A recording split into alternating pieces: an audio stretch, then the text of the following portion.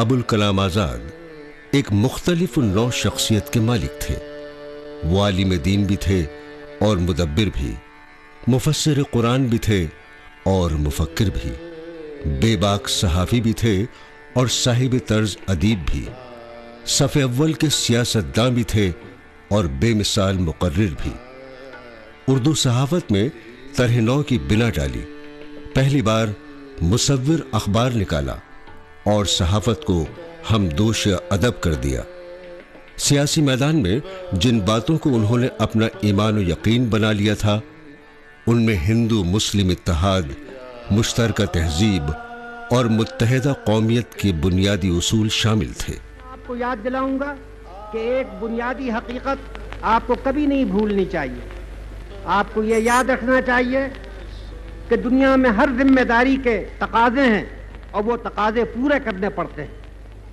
دنیا میں ٹھوکریں انہی کو لگتی ہیں کہ جو چلتے ہیں، جو پاؤں توڑ کر بیٹھ جاتے ہیں، انہیں کبھی ٹھوکر نہیں لگتی۔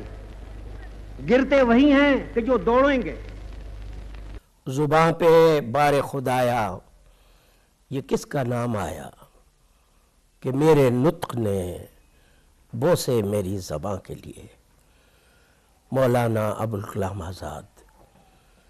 ہندوستان کی تحریک آزادی کا ایک ذریں باب ایک ابقری شخصیت، عجیب و غریب، ایک دیوزاد انسان اور رہنما، قائد، مدبر، انشا پرداز، ادیب، خطیب، مولانا کچھ ایسی خوبیوں کا مجموعہ تھے کہ جس میدان میں بھی زندگی کے انہوں نے قدم رکھا، خواہ وہ سیاست ہو یا مذہب یا ادب یا صحافت، اپنے عزم و ارادے سے اور اپنی بصیرت سے اپنے ذہانت سے اور اپنے جوش عمل سے انہوں نے اپنی افضلیت کو تسلیم کرا لیا۔ وہ امام الہند کہلاتے ہیں اور امام الہند اسی لیے کہے جاتے ہیں کہ وہ نہ صرف جدید ہندوستان بلکہ ہندوستان کی تاریخ میں جو نابغہ عصر ہیں غیر معمولی فراست، فہم اور علم و فضل والی شخصیات ہیں، ان میں ان کی حیثیت بہت نمایاں ہے۔ مولانا کے آبا و اجداد کا شمار اس عہد کے علماء اور اصحاب طریقت میں ہوتا تھا۔ مولانا آزاد کے والد مولانا خیر الدین تقریباً پچیس سال کی عمر میں ہجرت کر کے مکہ موزمہ چلے گئے۔ اللہ اکبر اللہ اکبر۔ اللہ اکبر اللہ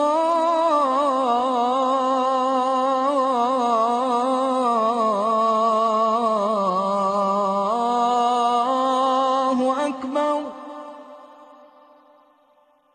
مولانا خیر الدین عالم دین اور صاحب تصنیف تھے۔ ان کی شادی مدینہ منورہ کے مشہور عالم شیخ ظاہر وطری کی صاحبزادی سے ہوئی۔ عالم کی حیثیت سے شیخ ظاہر وطری کی عرب دنیا میں بہت شہرت تھی۔ مولانا ابو الکلام آزاد سن اٹھارہ سو اٹھاسی میں مکہ موزمہ میں پیدا ہوئے۔ تعلیم کی ابتدا مکہ موزمہ میں روایتی طور پر قرآن شریف سے ہوئی۔ ابتدا میں ان کے والد سبھی بچوں کو عربی و فارسی خود پڑھاتے تھے، مگر ان کی مصروفیت اور علالت کی وجہ سے ہندوستان آنے سے پہلے ہی کچھ باہر کے اساتذہ سے بھی دونوں بھائیوں نے عربی، فقہ، منطق اور دوسرے علوم کی تعلیم حاصل کی۔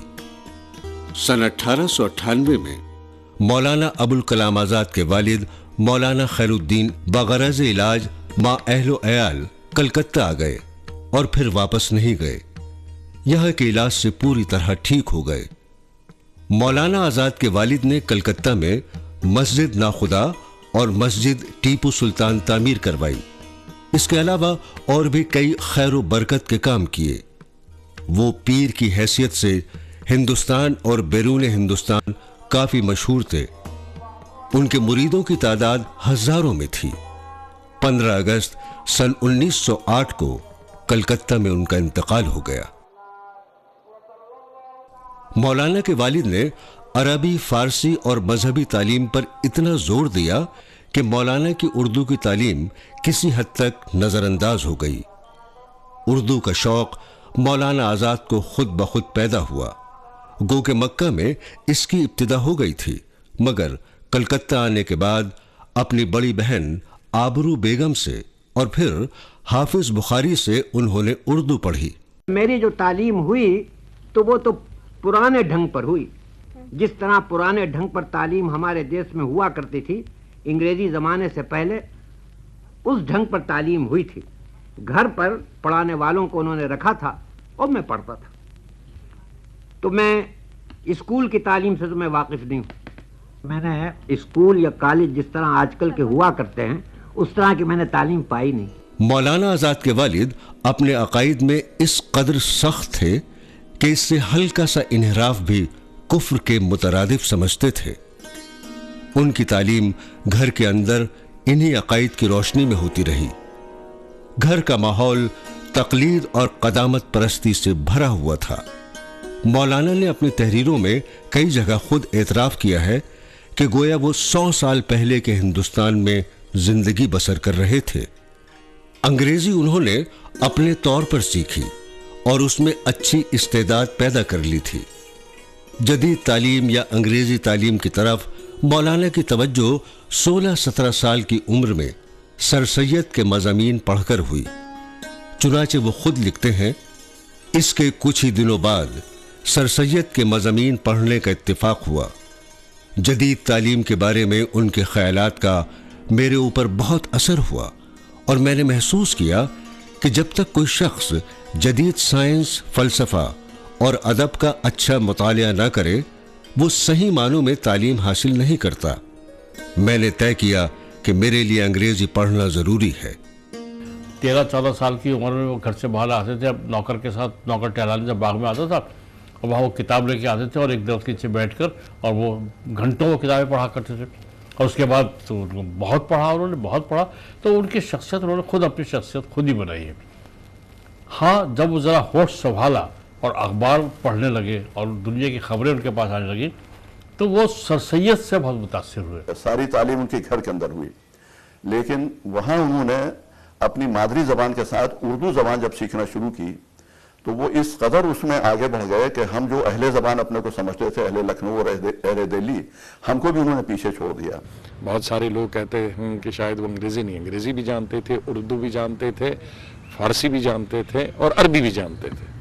اور یہی وجہ ہے کہ وہ اس ملک کے پہلے وزیر تعلیم بنے اور جب تک وہ زندہ رہے تا حیات وہ ملک کے وزیر تعلیم رہے۔ میں نے مولانا کی تحریریں دیکھی ہیں۔ مولانا کسی کو انگریزی میں خط بھیجتے ہیں تو الفاظ انگریزی کے ہوتے ہیں، لیکن رسم خود اردو استعمال کرتے ہیں۔ اور یہ لکھتے ہیں کہ اپنے اجمل خان صاحب، اپنے سیکرٹری کو کہ ان کو یہ جواب دے دیجیے۔ اور نیچے اس کے انگریزی خط شروع ہوتا ہے، لیکن رسم خط اردو ہے۔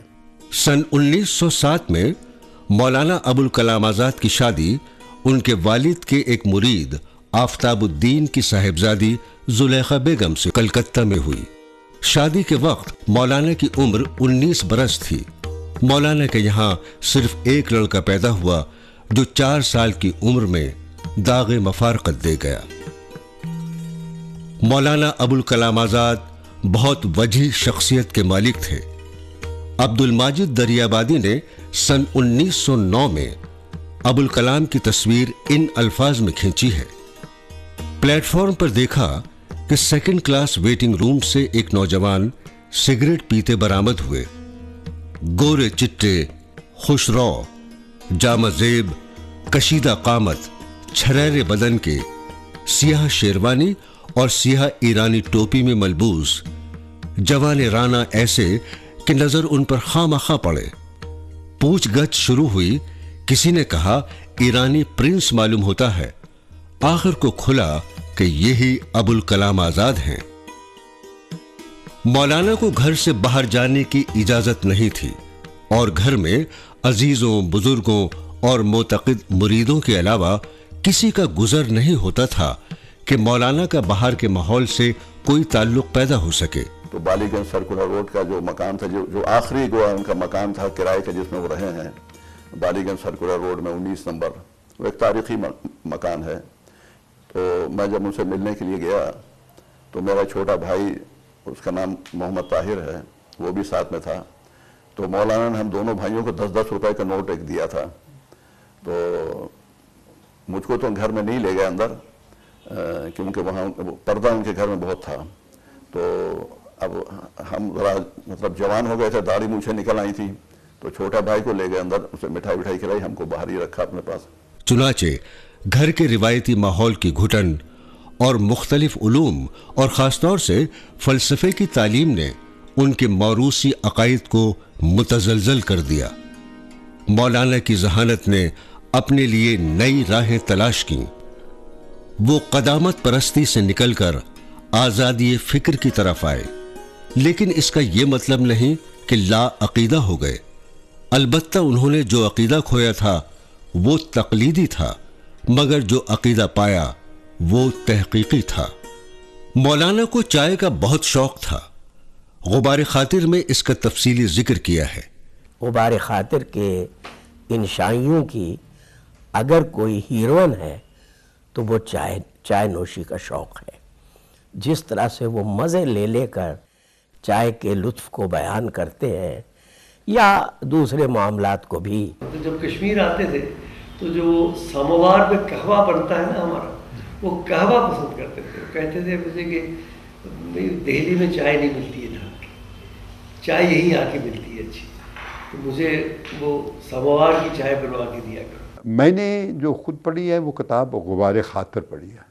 اور مولانا نے وہاں پہ یہ بہت لائٹ سی کتاب تھی، لیکن میں ان کے بلاغت کا، صحافت کا یہ سب چیزیں اس میں ظاہر ہیں۔ اور بہت ایسے لگتا ہے قریب سے، جیسے اگر آپ پڑھو کہ ان کو کتنی ایک چائے فرض کی لیجیے۔ تو چائے کی بھی کتنی ان کو نالج تھی، کس قسم کی چائے ہوتی ہے، کیسے بنتی ہے، سب کچھ۔ مولانا کی ادبی زندگی کی ابتدا شاعری سے ہوئی۔ انہوں نے دس گیارہ سال کی عمر سے شعر کہنا شروع کر دیا تھا۔ انہوں نے خود ایک جگہ لکھا ہے کہ عبد الواحد سہسرامی ان کے گھر آتے جاتے تھے جو انہیں اکثر شعر سناتے۔ انہی کی صحبت میں مولانا کو شعر گوئی سے رغبت ہوئی۔ عبد الواحد ہی کی تجویز پر مولانا نے آزاد تخلص اختیار کیا۔ کسی زمانے میں وہ گلدستوں وغیرہ میں ترہی کلام لکھا کرتے تھے۔ تبھی انہوں نے اپنا تخلص آزاد انتخاب کیا ہوگا۔ تاکہ گلدستوں کے شروع شروع کے حصے میں جگہ پا سکے۔ آپ ان کے اشعار کے انتخاب پر نظر ڈالیں تو مولانا کو وہی اشعار پسند ہیں جو انقلاب اور احتجاج میں بہت آگے آگے ہیں۔ جی اور اس کی وجہ یہ ہے کہ وہ دور تھا انقلاب پسندی کا ہندوستانیوں کو جوش و خروش دینا تھا۔ مولانا کا شعری ذوق بہت صاف ستھرا تھا جسے متانت اور توازن نے اعتبار عطا کیا۔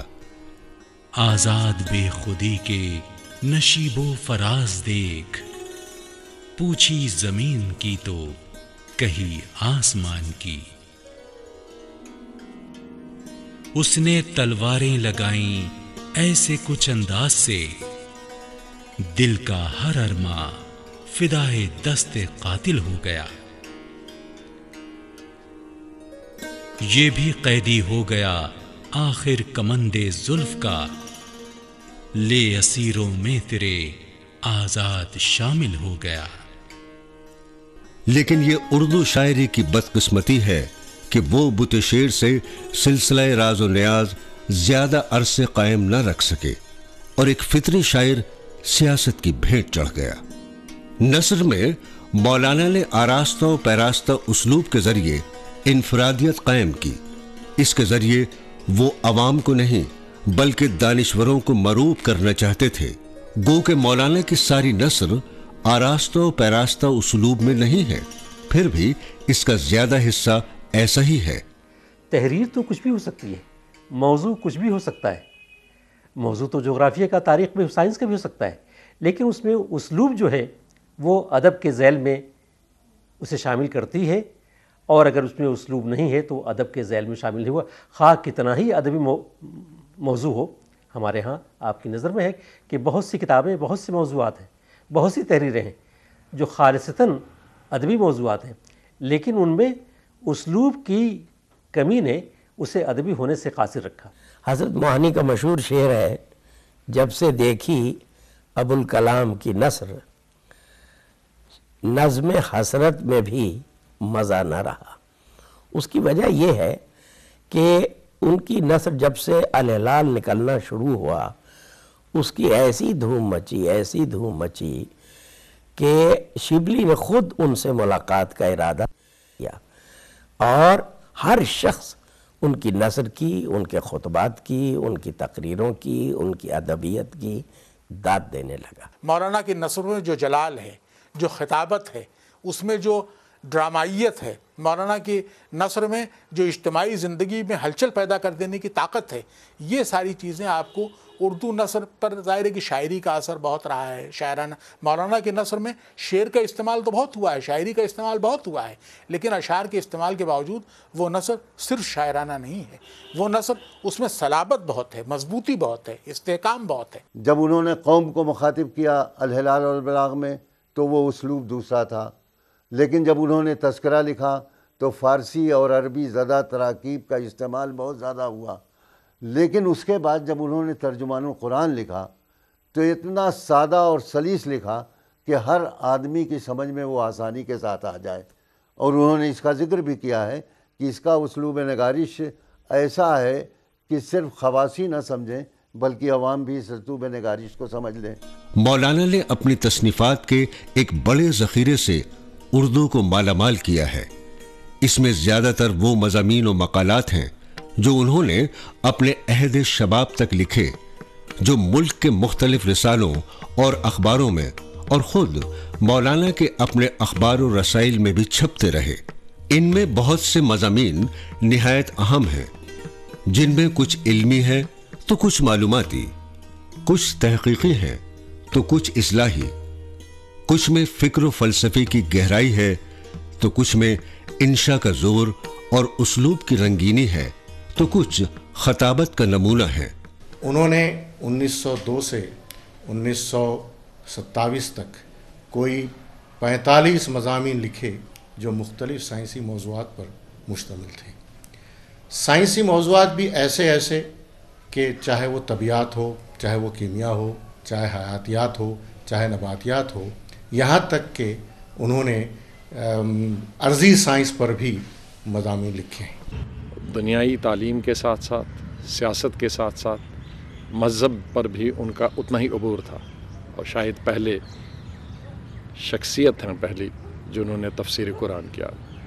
قرآن شریف کا اردو میں ترجمہ انہوں نے کیا۔ مولانا مارچ انیس سو سولہ سے ستمبر انیس سو انیس تک رانچی میں نظر بند رہے۔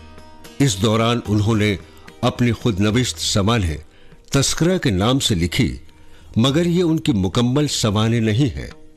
اسی دوران انہوں نے ترجمان القرآن تعلیف کی۔ اس کی دو جلدیں منظر عام پر آئیں۔ ان دو جلدوں میں قرآن کریم کے اٹھارہ پاروں کی تفسیر اور حواشی ہیں۔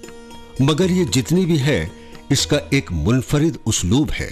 مولانا ابوالکلام آزاد نے ترجمان القرآن پہ برسوں کام کیا۔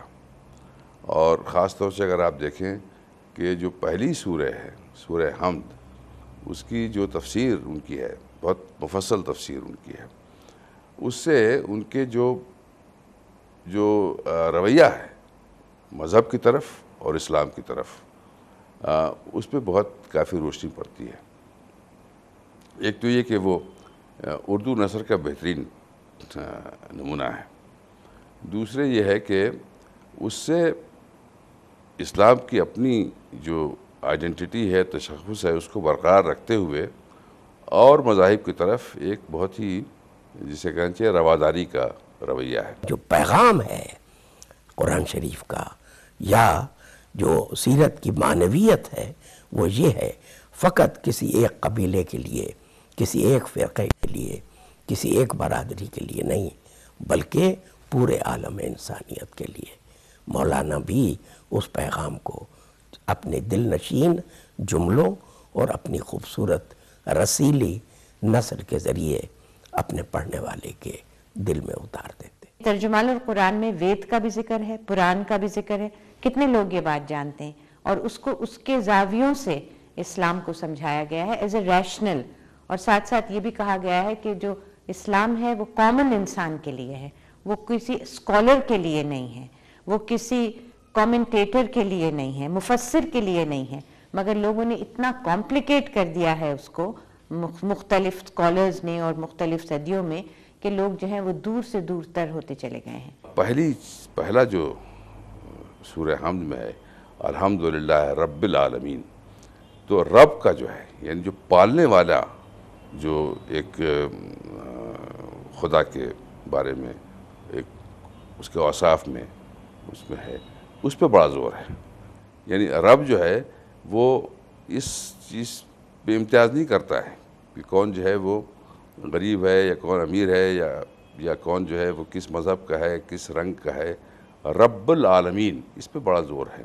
اور اس کی جو تفسیر انہوں نے لکھی ہے، وہ واقعی ایک طرح سے مشعل راہ لوگوں کے لیے ثابت ہو سکتی ہے۔ صرف ترجمان القرآن کی جو تحریریں ہیں، وہ ان کو ادبی شاہکار میں شمار کرنے کے لیے ہمیں مجبور کرتی جہاں جہاں تفسیر کے ذیل میں جہاں جہاں ان کا بیانیہ اسلوب شامل ہوتا ہے، وہاں لگتا ہے کہ مولانا کا قلم جو ہے وہ وہ ایک فیل بے زنجیر کی طرح سے یا ایک رواں دریا ہے جو آگے کی طرف بڑھتا جا رہا ہے۔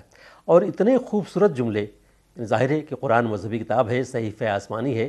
اس میں اسلوب و انشاء کی گنجائش نہیں تھی، لیکن مولانا نے اور میرا یہ خیال ہے کہ تمام مفسرین کی تفسیروں میں اور مولانا آزاد کی جو تفسیر ہے، اس کی انفرادیت یہ ہے کہ مولانا نے اس کو ادبی اسلوب اور آہنگ سے بھی ہم روشناس کیا ہے۔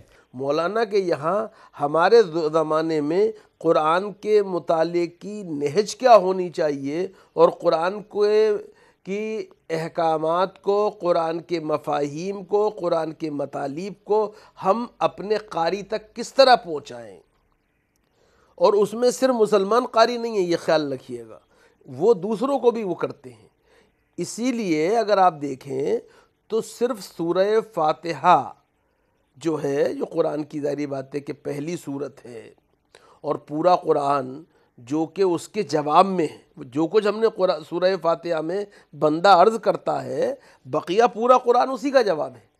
چونکہ بندہ کیا کہتا ہے؟ اہدن الصراط المستقیم، صراط الذین انعمت علیہم، غیر المغضوب علیہم ولدوالین یہ اللہ، مجھے سیدھے راستے پہ چلنے کی ہدایت دے۔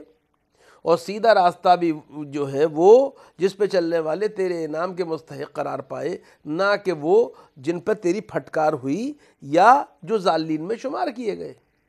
پورا قرآن اس کا جواب ہے۔ مولانا جو ہیں، انہوں نے اسی لیے یہ غیر معمولی بات ہے اور اس کی بڑی اہمیت ہے کہ انہوں نے سورہ فاتحہ کی تفسیر پورے ایک والیوم میں لکھی۔ چونکہ وہ اس کو انسانیت کے ایک کا جو رشتہ انسلاک ہے، رشتہ اتحاد ہے اور رشتہ اخوت و مساوات ہے اور اس کا رب بندے سے رب کا جو تعلق ہے، رب کی کبریائی جو ہے، بندے کا عجز جو ہے، ان سب کو وہ بڑی خوبصورتی سے اس کے اندر بیان کرتے ہیں۔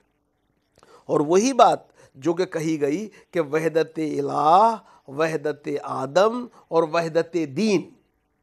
کہ جو ان کا پورا کی تھیوری ہے اور جو بالکل صحیح ہے قرآن کے مطابق، اس کو پیش کرتے ہیں۔ مولانا آزاد کی ایک کتاب، آزاد کی کہانی خود آزاد کی زبانی ہے، جو وفات کے بعد سن انیس سو اٹھاون میں شائع ہوئی۔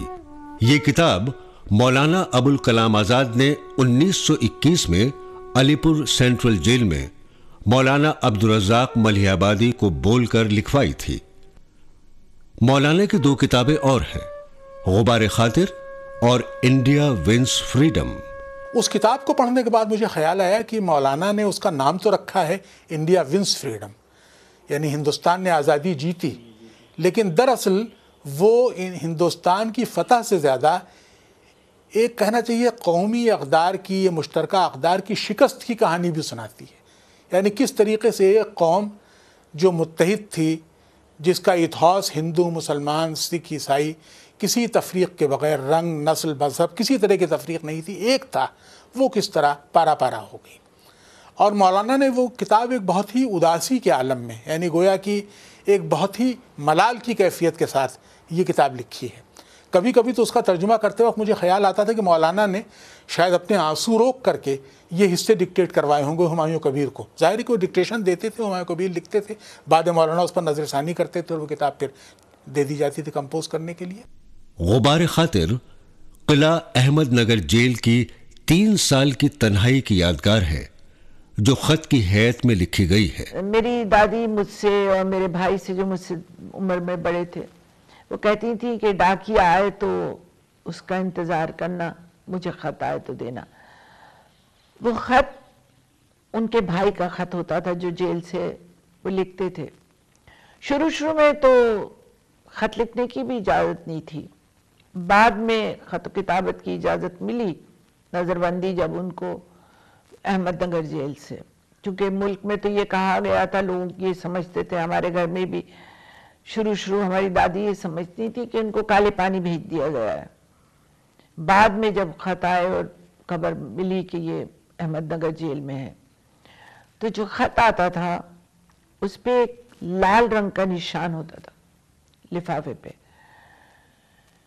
وہ سینسر ہو کے آتے تھے۔ موضوع کے اعتبار سے غبار خاطر ادب تاریخ اور ثقافت کا خوبصورت امتزاج ہے۔ غبار خاطر کا جو اسلوب ہے صرف خطوط تک محدود نہیں ہے، بلکہ آپ یہ دیکھیے کہ اس میں انشائیے بھی شامل ہیں اور مقالے بھی شامل ہیں۔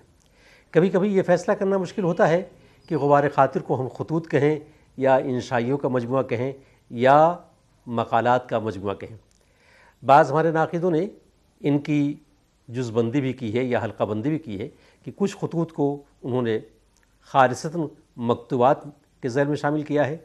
کچھ مقالے ان کے مقالات کی صورت میں ہیں، کچھ خطوط ان کی انشا پردازی کے بہترین نمونے ہیں۔ اس کے علاوہ، مولانا آزاد کے خطوط کے کئی مجموعے شائع ہو گئے ہیں۔ یہ تمام خطوط سیدھی سادی زبان میں لکھے گئے ہیں۔ ان میں اختصار و جامعت بھی ہے اور بے تکلفی و بے ساختگی بھی۔ اور یہ وہ خطوط ہیں جو اپنے مکتوب علیہ تک پہنچے۔ مولانا کے خطوط جو میرے والد کے نام ہیں، وہ اکثر و بیشتر چھپ چکے ہیں۔ اور ایسی کتاب میں چھپے ہیں جس کا نام تھا اطالیق خطوط نویسی۔ اس میں اس زمانے کے اکابر کے خطوط تھے، اس میں مولانا کے خط بھی ہیں۔ لیکن مولانا کے خطوں کی خصوصیت یہ ہے کہ جو کچھ رائے انہوں نے یعنی پچھلی صدی کے بالکل ابتدا میں تھی وہ مرتے دم تک اس کو بھلایا نہیں۔ اسی پر قائم رہے۔ اسی پر قائم رہے اور نہایت مستقل مزاجی سے قائم رہے۔ مولانا آزاد ایک بہترین مقرر بھی تھے۔ انہوں نے اپنی تقریروں اور خطبات کے ذریعے قوم کو بیدار کیا۔ ان کے خطبات بہت مؤثر ہوتے تھے۔ ان میں بڑا جوش اور ولولہ ہوتا تھا۔ یہ تمام خطبات مرتب ہو کر شائع ہو گئے ہیں۔ مولانا کو قومی و سیاسی امور نے پوری طرح جکڑ رکھا تھا جن کی وجہ سے روز روز کا سفر درپیش رہتا تھا۔ پھر ان کے اخبارات بھی تھے، جن کی فکر ان کو ستاتی رہتی تھی۔ ان سب کے باوجود انہوں نے اردو ادب کی جھولی میں جو نوادرات ڈال دیے ہیں، اردو ادب کا تاریخ نگار کبھی ان سے صرف نظر نہیں کر سکتا۔ میں یہ تو نہیں کہہ سکتا کہ میں مولانا کی رائٹنگ کے متعلق عالم ہوں، لیکن یہ مان کے چلتا ہوں کہ میں نے مولانا کی رائٹنگ سے بہت کچھ سیکھا ہے۔ بطور ہندوستان کے انفارمیشن منسٹر کی میں نے الحال کی پوری تاریخ پڑھی تھی اور الحال نے کیا رستہ دکھایا۔ آج اردو والے اور وہ لوگ جو اردو والے نہیں ہیں، وہ بھی اگر مولانا کی باتیں پڑھیں یا سنیں تو ان کو اپنا فائدہ تو ہوگا ہی، لیکن ان کی قوم کا فائدہ بھی ہوگا۔ جو بھی ان کے رائٹنگز ہیں اور ان کی جو سپیچز ہیں اگر اس کو مجموعی طور پر دیکھا جائے تو وہ سب بھی ایک طرح سے کلاسکس ہیں اردو پروز کے۔ احمد سعید ملی آبادی مولانا کی تحریروں کے بارے میں لکھتے ہیں ان کے انشاء پر مصری عالم سید رشید رضا اور ان کے رسالے المنار کی چھاپ گہری تھی جو مولانا کے مطالعے میں شروع سے تھا۔ مولانا کی فکر پر کچھ اثر جمال الدین افغانی اور مصری عالم شیخ عبدہ کا تھا۔ مولانا آزاد کی ہمہ جہت شخصیت کا ایک پہلو ان کی سیاست سے دلچسپی بھی تھی۔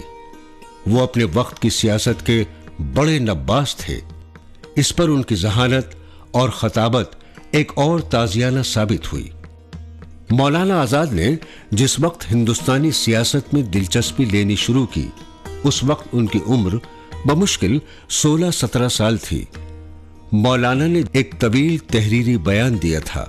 میں مسلسل بارہ سال سے اپنی قوم و ملک کو آزادی و حق طلبی کی تعلیم دے رہا ہوں۔ میری اٹھارہ برس کی عمر تھی جب میں نے اس راہ میں تحریر و تقریر شروع کی۔ چودہ سو سال کی اسلام کی روایات میرا ایک اہم ورثہ ہے۔ وہیں ایک اور بھی احساس ہے کہ میں ایک ہندوستانی ہوں۔ اور اس عظیم ہندوستان کو بنانے میں میرا بھی حصہ ہے۔ اور میں اپنے اس حق سے کبھی بھی دست بردار ہونے کو تیار نہیں ہوں۔ تو یہ بات انہوں نے شروع سے ہی سوچی تھی۔ وہ یہ سمجھتے تھے اور مانتے تھے کہ مسلمان اس ہندوستان کا ایک اہم حصہ ہے۔ ہندوستان کے بنانے میں ان کا بھی حصہ ہے۔ اور آزادی کی لڑائی میں اگر وہ علیحدہ رہیں گے، اپنے کو الگ محسوس کریں گے، تو آئندہ اس کا اثر اچھا نہیں پڑے گا۔ اس زمانے کے مسائل کی پیچیدگیوں کو سمجھتے تھے اور ان کی گہرائی میں جا کر جس طرح سے انتہائی تدبر اور دانش سے بات کرتے تھے، وہ انہی کا حصہ تھا۔ یہی وجہ ہے کہ گاندھی جی اور جواہر لال نہرو اور جتنے دوسرے اس زمانے کے رہنما تھے، وہ سب ان کی رائے کا اور ان کی رائے کی اصابت کا انتہائی احترام کرتے تھے۔ انیس سو اکیس میں گرفتاری کے بعد، گیارہ جنوری انیس سو بائیس کو عدالت میں پیشی پر مولانا نے جج کے سامنے ایک طویل تحریری بیان دیا تھا، جو بعد میں قول فیصل کے نام سے کتابی شکل میں شائع ہوا۔ مولانا آزاد کے ذہن میں متحدہ قومیت کا تصور بھی بہت واضح تھا۔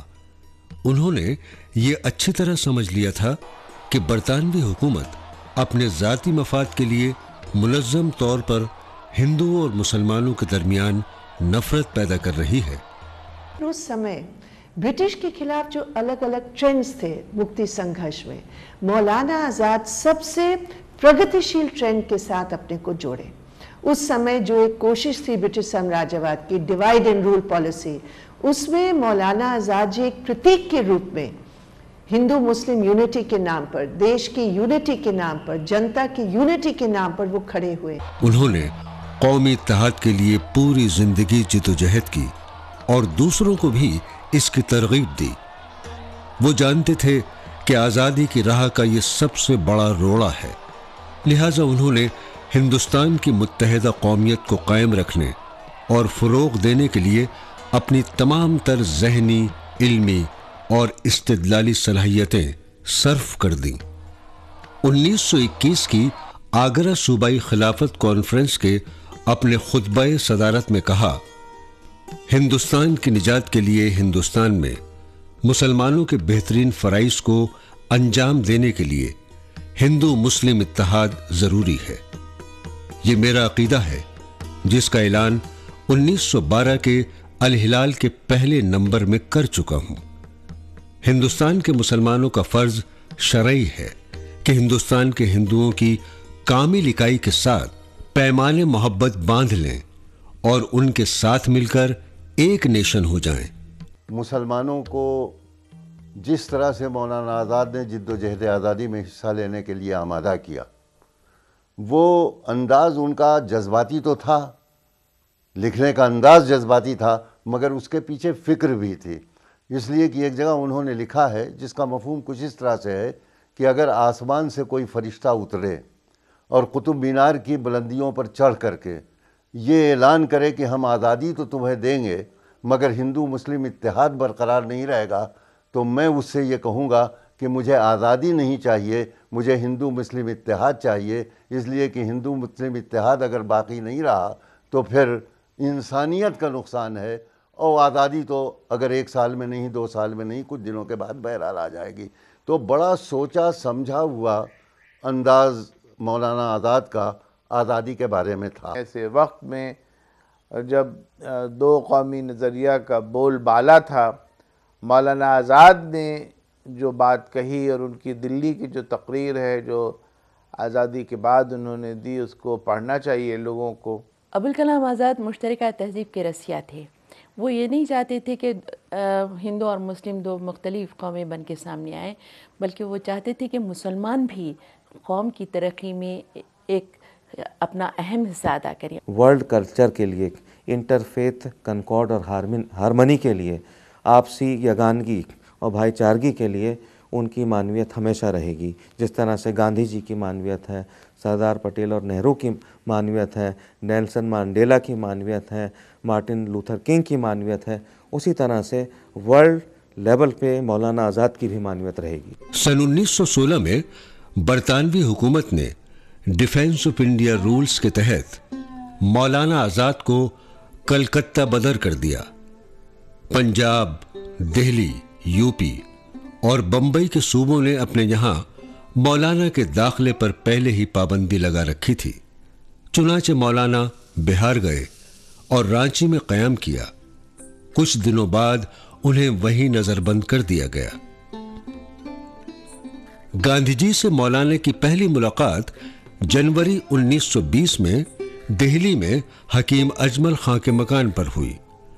مولانا کی رانچی نظر بندی کے زمانے میں گاندھی جی رانچی آئے تو ان سے ملنا چاہتے تھے، مگر گورنمنٹ نے اجازت نہیں دی۔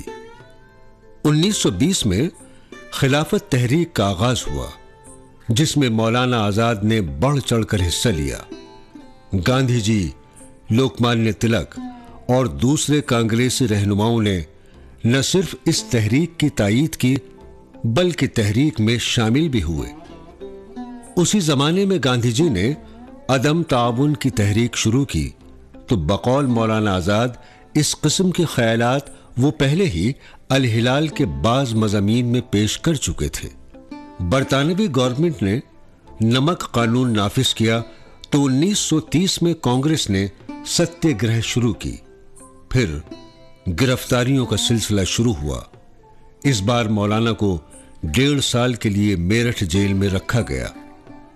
سن انیس سو اڑتیس میں مولانا کو کانگریس کی صدارت پیش کی گئی، لیکن انہوں نے انکار کر دیا۔ انیس سو انتالیس میں دوبارہ گاندھی جی نے زور ڈالا تو مولانا تیار ہو گئے اور سات سال تک کانگریس کی صدر رہے۔ اس وقت پوری دنیا کے حالات بہت خراب تھے۔ دوسری جنگ عظیم شروع ہو چکی تھی۔ برطانیہ بھی جنگ میں ملوث تھا، اس لیے جنگ کے اثرات ہندوستان کی اندرونی سیاست پر بھی پڑ رہے تھے۔ کانگریس پارٹی نے جنگ میں ہندوستانی عوام کے تعاون نہ کرنے کا فیصلہ کیا تھا۔ انیس سو اکتالیس میں دوسرے لیڈروں کے ساتھ مولانا کو بھی الہ آباد میں پھر گرفتار کر لیا گیا۔ انیس سو بیالیس میں کرپس مشن ہندوستانی لیڈروں سے بات کرنے کے لیے آیا، مگر آزادی دینے کی تجویز اس نے منظور نہیں کی۔ اور یہ بات چیت ناکام ہو گئی۔ آٹھ اگست انیس سو بیالیس کو گاندھی جی کی تجویز ہندوستان چھوڑو، کانگریس ورکنگ کمیٹی نے منظور کر لی۔ چنانچہ کانگریس کے تمام بڑے لیڈروں کے ساتھ مولانا کو بھی گرفتار کر لیا گیا۔ اس بار وہ پندرہ جون انیس سو پینتالیس تک قید فرنگ میں قلعہ احمد نگر اور بانکوڑا جیل میں رہے۔ انیس سو چھیالیس میں کانگریس پارٹی کے صدر کے لیے انتخاب ہوا۔ کچھ لوگ چاہتے تھے کہ سردار پٹیل صدر بنے۔ کچھ کا خیال تھا کہ صدارت مولانا کے ہی پاس رہے۔ لیکن مولانا اس کے لیے تیار نہ ہوئے اور جواہر لال نہرو کا نام پیش کیا، جسے اتفاق رائے سے منظور کر لیا گیا۔ مولانا انیس سو انتالیس سے سات جولائی انیس سو چھیالیس تک کانگریس پارٹی کے صدر رہے۔ مولانا سینتیس سال کی عمر میں صدر بنے تھے کانگریس کے۔ سب سے کم عمر صدر تھے اور سات سال تک وہ صدر رہے۔ ان کے زمانے میں بڑے انقلاب آئے کوئٹ انڈیا مومنٹ ہوا اور یہ ہوا۔ بہت ساری چیزیں ہوئیں۔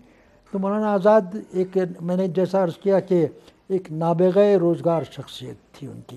جس موقع پر وہ کانگریس پارٹی کے صدر تھے وہ بڑا کروشل زمانہ تھا۔ اسی کے ساتھ پھر کیابنٹ مشن اور دوسری چیزیں ہو گئیں اور انگریزوں کے ساتھ بات ہو گئی اور جو سنجیدگی ہوتی ہے اور دولت ہوتی ہے شکشا کی، اس میں وہ بہت بڑے آدمی تھے، اسی لیے انگریزوں کو بڑا اثر پڑ گیا مولانا کی شخصیت کا۔ مہاتما تو تھے ہی، لیکن یہ لوگ بہت بڑے لوگ تھے جنہوں نے جیل کی یاترا بہت کی تھی، جنہوں نے قربان کیا تھا۔ مولانا کی کوئی پراپرٹی نہیں رہی۔ تو ایسے لوگ کہاں پیدا پیدا ہوں گے؟ حب الوطنی کا جذبہ، ملک کو آزاد کرنے کا جذبہ، پارٹی کے سب سے بڑے عہدے پر رہ کر بھی اپنی جو مذہبی کتاب ہیں، سب سے ہمارے قرآن کریم کی، اس کا ترجمہ کرنا اور اردو اخبار کا ایڈیٹر بھی ہونا۔ یہ تمام چیزیں ایک انسان میں ہونا اور پانا بڑا ناممکن ہے۔ اور اسی لیے وہ ابو کلام آزاد ہے، کوئی دوسرا ابو کلام آزاد نہیں بن پایا مولانا آزاد نے ابتدا میں ہی اس بات کو سمجھ لیا تھا کہ سماج کی مثبت تعمیر کے لیے لوگوں تک وہ سچ پہنچانا چاہیے، جس کا جاننا ان کے لیے ضروری ہے۔ اور کوئی بھی تحریک اس وقت تک کامیاب نہیں ہو سکتی جب تک وہ عوام سے رابطہ قائم نہیں کرتی۔ اور عوام سے رابطہ قائم کرنے کے لیے اخبار سے بہتر کوئی چیز نہیں ہے۔ چنانچہ انہوں نے اپنی زندگی میں کم و بیش ایک درجن اخبار و رسائل ایڈٹ کیے۔ جب بھی نظام میں تبدیلی لانا ہو، معاشرے میں تبدیلی لانا ہو، ایک بہت بڑے انقلاب کے بارے میں آپ سوچ رہے ہوں، تو یہ صرف خبروں کے ذریعے ممکن نہیں ہے۔ اور یہی ثابت کیا تھا، آزادی سے قبل جنگ آزادی کے دوران مولانا آزاد کی صحافت نے الہلال کا ذکر کریں یا البلاغ کا ذکر کریں، ان کے اداریے یہ اتنے اہمیت کے حامل ہوتے تھے کہ انگریز حکومت خوفزدہ تھی ان سے۔ مولانا کی صحافت کے مجموعی جائزے سے اندازہ ہوتا ہے کہ وہ صحافت کا ایسا سنجیدہ اور مفید استعمال کرنا چاہتے تھے، جیسا سر سید نے کیا تھا۔ لسان الصدق کے پہلے شمارے میں اس کے اجرا کے جو مقاصد مولانا نے بیان کیے ہیں، ان سے بھی پتہ چلتا ہے کہ وہ صحافت کی حدود و امکانات سے پوری طرح واقف تھے۔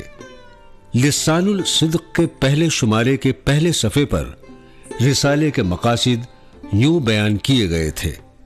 سوشل ریفارم، مسلمانوں کی معاشرتی اصلاح۔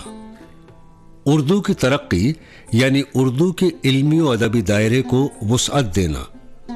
بنگال میں علمی مذاق کی اشاعت اور اردو کتابوں پر منصفانہ تبصرے۔ ڈیڑھ سال کی مدت میں اس کے دس شمارے نکلے، کیونکہ یہ ہر ماہ پابندی سے نہیں نکل سکا۔ مولانا کو بار بار درپیش سفر کی وجہ سے یہ پرچہ مئی انیس سو پانچ سے آگے نہ بڑھ سکا۔ عراق سے واپسی پر مولانا کی ملاقات شبلی سے ہوئی۔ خط و کتابت تو پہلے سے تھی، مگر ملاقات پہلی بار ہوئی۔ شبلی مولانا کے علمی ذوق سے کافی متاثر ہوئے۔ ان کے بارے میں لکھتے ہیں، تمہارا ذہن اور دماغ عجائب روزگار میں سے ہے۔ تمہیں تو کسی علمی نمائش گاہ میں بطور عجوبے کے پیش کرنا چاہیے۔ اس وقت شبلی لکھنؤ سے الندوہ نکالتے تھے۔ مولانا آزاد کو اس کی ادارت کی پیشکش کی جسے انہوں نے قبول کر لیا۔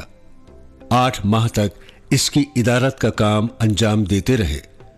امرتسر سے نکلنے والا اخبار وکیل اس وقت کے اردو اخبارات میں متین، سنجیدہ اور قومی مسائل پر نظر رکھنے والا صاحب رائے اخبار تسلیم کیا جاتا تھا۔ وکیل کے مالک شیخ غلام محمد نے مولانا کو اس کی ادارت کی پیشکش کر دی۔ مولانا کی محنت سے جلد ہی اخبار کی اشاعت ڈیڑھ گنا ہو گئی۔ اس سے پہلے وہ کئی اخباروں میں کام کر چکے تھے۔ بے حد جوانی، بلکہ لڑکپن کی عمر میں۔ کتنے ہی اخبار تھے۔ انہوں نے اپنا بھی ایک، وہ جو کیا، گلدستہ، ایک نظموں کا اخبار نکالا تھا۔ تو اس کے بعد وکیل میں شاید انہوں نے چھ سال کاٹے۔ بدقسمتی سے ہمارے پاس وہ مضامین کم از کم مجھے نہیں ملے۔ جو وکیل میں وہ لکھتے رہے۔ وکیل میں ان کو دوبارہ بلایا گیا تھا۔ خیر اس کے ساتھ ہی وہ چھ سال تک پلاننگ کرتے رہے کہ میں اپنا اخبار نکالوں۔ اور اس کا نتیجہ آل ہلال اخبار کے مقاصد دو تھے۔ ایک تو انگریزوں کی بھرپور مخالفت کی جائے اور دوسرا ہندو و مسلمانوں کے درمیان اتحاد پیدا کیا جائے۔ یہ مشن کو انہوں نے زندگی کی آخری سانس تک انجام دیا۔ الہلال جاری ہوا تو قومی خدمت کا جذبہ رکھنے والے ایک رئیس نے ایک چیک مولانا کو بھیجا اور لکھا کہ آئندہ بھی الہلال کو جاری رکھنے کے لیے اتنی ہی رقم کا چیک بھیجتا رہوں گا۔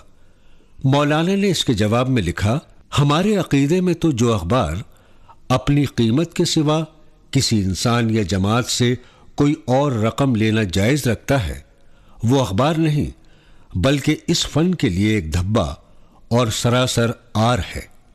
اس سے پہلے اردو اخبارات با تصویر نہیں ہوتے تھے۔ ٹائپ میں نکالنے کا فیصلہ بھی انہوں نے اسی لیے کیا ہوگا تاکہ تصویریں مواد کے ساتھ فٹ ہو جائیں۔ انہوں نے اپنے اس اخبار میں خبروں کے علاوہ مذہب، سیاست، نفسیات، معاشیات، عمرانیات، جغرافیہ، تاریخ، سوانحی ادب اور حالات حاضرہ پر معیاری مضامین ایک ساتھ شائع کیے۔ الہلال کا ایک بہت بڑا ایک کنٹریبیوشن ہے ہندوستان کی آزادی کی لڑائی میں، کیونکہ اس نے کلکتے سے لے کے پشاور تک ایک آگ لگا دی تھی لوگوں کے اندر میں۔ اور کیا ہندو اور کیا مسلمان، سب لوگ الہلال کی تحریروں کو جو نہیں سمجھ سکتے تھے، وہ پڑھ سکتے تھے، دوسروں سے پڑھوا کے سنا کرتے تھے۔ الہلال کی مقبولیت اور روز بروز اس کے بڑھتے باغیانہ عناصر سے خائف۔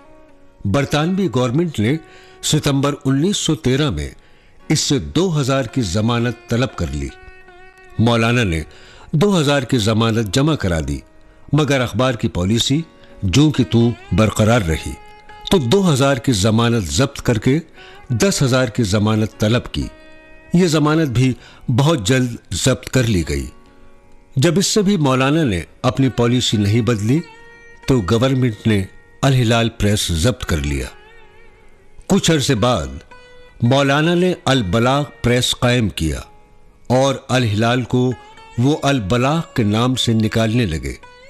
کچھ دنوں بعد حکومت بنگال نے انہیں بنگال کی حدود سے نکل جانے کا حکم جاری کر دیا۔ بنگال سے نکل کر وہ رانچی کے مضافات کے ایک گاؤں میں مقیم ہوئے۔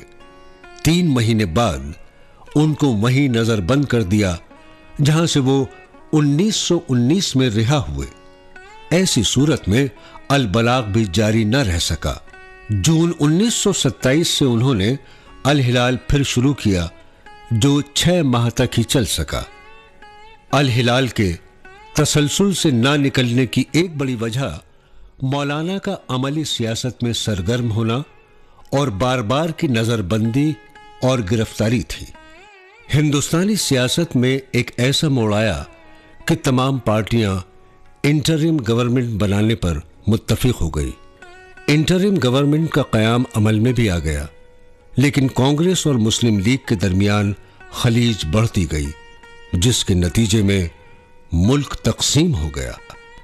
مولانا آزاد آخر وقت تک تقسیم کے خلاف لڑتے رہے۔ جس ہندوستان نے دنیا کو امن اور انسانیت کا یہ سب سے بڑا انسان دیا ہے، خود اسی ہندوستان میں امن اور انسانیت کو کس طرح خاک و خون میں ملایا جا رہا ہے؟ پنجاب میں پانچ دریا ٹھنڈے پانی کے ہزاروں برس سے بہ رہے تھے۔ اب ایک چھٹا دریا انسان کے گرم گرم خون کا بھی بہنے لگا۔ ہے پانی کے دریاؤں پر ہم نے اینٹ، پتھر اور لوہے کے پل بنائے تھے۔ اس چھٹے دریا کا پل اب انسانوں کی لاشوں سے چنا جا رہا ہے۔ آج سے چھ سو برس پہلے جب تاتاریوں نے ملتان پر حملہ کیا تھا، تو امیر خسرو نے کہا تھا، پنجاب دیگر اندر ملتان احمد پدید یعنی ملتان میں پانی کے پانچ دریاؤں کے ساتھ خون کے پانچ دریا بھی بہنے لگے اس وقت یہ شاعرانہ مبالغہ تھا، مگر آج حقیقت ہے۔ اسی دلی میں، جس کی ایک عمارت کے اندر بیٹھا ہوا، میں آپ کے کانوں تک اپنی یہ آواز پہنچا رہا ہوں۔ دو ہفتے تک جو کچھ ہوتا رہا ہے، اس کی یاد ہر باغیرت ہندوستان کے دل کو زخموں سے چور کر دیتی پارٹیشن تو جن لوگوں نے کی ان کو کچھ ملا نہیں۔ جو مولانا کی بات سنتے رہے، ان کے پیچھے چلے وہ آج ہندوستان کو بنانے میں اور ہندوستان کے بننے میں اپنا حصہ محسوس کرتے ہیں۔ ملک تقسیم ہو گیا لیکن مولانا تقسیم کے خلاف تھے۔ اور اس انہوں نے کہا تھا ملک کو ہی نہیں نقصان ہوگا تقسیم سے مسلمانوں کو نقصان ہوگا۔ جن لوگوں نے ان کی بات کو نہیں مانا ان کو بہت افسوس ہے آج بھی۔ جیسے مولانا کی وہ تاریخی تقریر جو آزادی کے بعد انہوں نے جامع مسجد میں کی تھی۔ اور انہوں نے یہی کہا تھا کہ تم نے میرے ہاتھ کاٹ دیے، تم نے میری زبان کاٹ دی، تم نے میری بات نہیں سنی۔ اور میرے خیال میں وہ لوگ جو ان کی بات نہیں سنتے تھے، ان کو آج افسوس ہو۔ ان سے پوچھا گیا جب پارٹیشن ہوا کہ آپ کو آپ کو خوشی نہیں ہے کہ سوراج ملا ہے؟ بولے، خوشی ہے، لیکن اگر میرے سامنے دو باتیں رکھی جائیں کہ آپ کو سوراج زیادہ پیارا ہے یا پارٹیشن نہیں ہونا چاہیے تھا، ہندوستان کا بٹوارہ نہیں ہونا چاہیے تھا۔ تو انہوں نے بولا کہ میں کہتا کہ ہندوستان کا بٹوارہ نہیں ہونا چاہیے تھا۔ سوراج تو ہمیں مل ہی جاتا۔ تو اتنی ان کی دور درشٹی تھی۔ ایسے انسان کو میں سمجھتا ہوں کہ ہمیں ان کے بارے میں سوچنا چاہیے، ان کے خیالات کے بارے میں سوچنا چاہیے۔ اور اگر ہندوستان ان کے بچاروں کو سامنے رکھتے ہوئے آگے بڑھے گا تو تبھی ہندوستان ایک طاقتور اور سیکولر دیش بن سکتا ہے۔ انٹرم گورنمنٹ میں گاندھی جی کے اصرار پر مولانا نے وزیر تعلیم کا عہدہ قبول کر لیا تھا۔ جو جگہ آج ہم نے دنیا کے نقشے میں حاصل کی ہے اس کو کامیابی کے ساتھ قائم رکھیں اور کامیابی کے ساتھ آگے قدم اٹھائیں تو ہمیں چاہیے کہ مردانہ وار ان آزمائشوں کا مقابلہ کریں۔ اور آج ہم ملک کی جس آزادی کی یادگار منا رہے ہیں اس کو ہنستے ہوئے چہروں سے منائیں اگرچہ ہمارے دلوں میں پچھلے غموں کے کتنے ہی اثرات باقی آزادی کے بعد مولانا کو وزیر تعلیم بنایا گیا اور آخر تک وہ اسی عہدے پر فائز رہے۔ اسکول اور کالج ہمیں علم کا گھر نہیں دیتے علم کے گھر کے دروازے پر کھڑا کر دیتے۔ لیکن علم کا گھر کہاں ہے؟ وہ دراصل کتب خانہ کتب خانے سے مقصود یہ ہے کتب خانے کے سروس سے مقصود یہ ہے کہ ایک ملک کو اس کی حالت و ضرورت کے مطابق اور کتابوں کے جو پڑھنے والے ہیں، ان کی حالت کے مطابق جس طرح کا لٹریچر جس طرح کی کتابیں چاہیے، ان کتابوں کا انتظام کرے اور پھر کوشش کرے کہ وہ کتابیں زیادہ سے زیادہ ہاتھوں میں پہنچ جائیں مولانا آزاد کا تعلیم کے بارے میں ایک خاص نظریہ تھا۔ وہ چاہتے تھے کہ ذات پات اونچ نیچ اور جنس کی تفریق کے بغیر اعلیٰ معیار کی تعلیم سب کو میسر ہو۔ مولانا کو بنیادی تعلیم سے جو شغف تھا گاندھی جی کا جو تعلیم کا تصور۔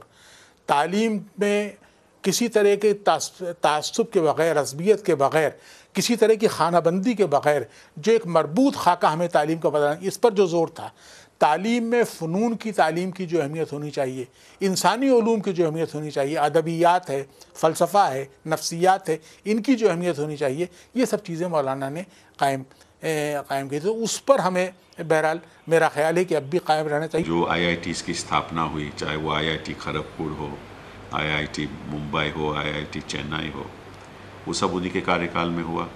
یو جی سی کا گٹھن جو ہوا، وہ بھی انہی کے کاریہ کال میں ہوا، جو بنیادی طور پہ جو انسٹیٹیوشنس آف ایکسلنس تھی ان کے کاریہ کال میں ہوا۔ اور ان کی جو، ان کا جو جی اپلبدھیاں ہیں، وہ آج ہمیں دکھ رہی ہیں۔ ظاہر ہے، آج اگر ہندوستان میں سے اتنے بڑے بڑے لوگ بچے جو سافٹ ویئر انجینئر بن کر دوسرے ممالک کو جا رہے ہیں، بڑے بڑے یونیورسٹیز کا اگر قیام یہاں پر ہوا ہے سینٹرل یونیورسٹیز کا تو یہ تمام کی تمام دین ہے مولانا آزاد رحمۃ اللہ علیہ کی۔ انہوں نے دو ثقافتی ادارے قائم کیے، ان میں سنگیت ناٹک اکادمی انیس سو تریپن، ساہتیہ اکادمی انیس سو چون، اور للت کلا اکادمی انیس سو چون اہم ہے اس کے علاوہ انہوں نے ان تین اکادمیوں سے پہلے Indian council for cultural relation کو بھی انیس سو پچاس میں قائم کیا تھا۔ وہ یہ چاہتے تھے کہ ہمارا کلچر جو ہے دوسرے ملکوں میں جائے۔ تو اس کے لیے انہوں نے جو ہے یہاں پر ایک انٹرنیشنل لیول کے اوپر ایجوکیشن کا وہ رکھا کہ باہر کے اسٹوڈنٹس آ کر یہاں پر تعلیم حاصل کریں، یہاں کے کلچر سے انٹروڈیوز ہوں اور یہاں کے لوگ باہر جائیں۔ Central advisory board of education کے چیئرمین کی حیثیت سے انہوں نے تجویز کیا کہ سینٹر اور اسٹیٹ دونوں سطح پر سرکار کو تعلیمی نظام میں تبدیلی لانی چاہیے۔ جس میں یونیورسٹیاں بھی شامل ہوں۔ انہوں نے یونیورسٹی گرانٹس کمیشن سن انیس سو چھپن میں پارلیمنٹ ایکٹ کے ذریعے قائم کیا تاکہ ملک کی تمام یونیورسٹیوں میں معیاری تعلیم کے لیے فنڈ تقسیم کیے جائیں۔ مولانا آزاد، ایک صحافی، مجاہد آزادی، بلند پائے ادیب اور وزیر تعلیم کی حیثیت سے زندگی گزار کر بائیس فروری سن انیس سو اٹھاون کو دہلی میں اس دار فانی سے کوچ کر گئے۔ انتقال کے وقت مولانا کی عمر سرکاری ریکارڈ سے انہتر سال چھ ماہ تھی۔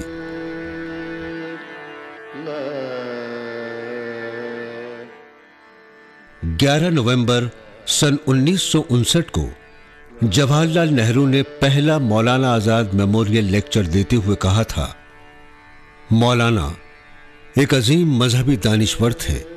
صحافی، ادیب، شاعر فلاسفر اور ان سب سے زیادہ ایک عظیم سیاسی رہنما تھے۔ آزادی کی جد و جہد میں ان کی خدمات اور قربانیاں کبھی نہیں بھلائی جا سکتی اور نہ ہی ان کے ہندوستان کے پہلے وزیر تعلیم کی لاسانی خدمات کو کبھی نظر انداز کیا جا سکتا ہے۔